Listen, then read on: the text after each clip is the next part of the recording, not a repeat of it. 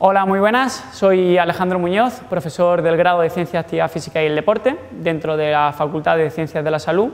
y os venimos a presentar un proyecto de innovación del cual soy IP que consiste en la grabación de diferentes herramientas de medición del propio laboratorio de la Facultad de Ciencias de la Salud con el objetivo de llevar estas herramientas de medición tanto a la docencia para que el alumnado pueda ver y comprobar eh, cómo se utilizan estas, estas, herramientas, como también en el ámbito de, la investigación, tanto para el profesorado como para toda la comunidad universitaria. Así que os dejamos la grabación de estos diferentes vídeos y esperemos que os guste.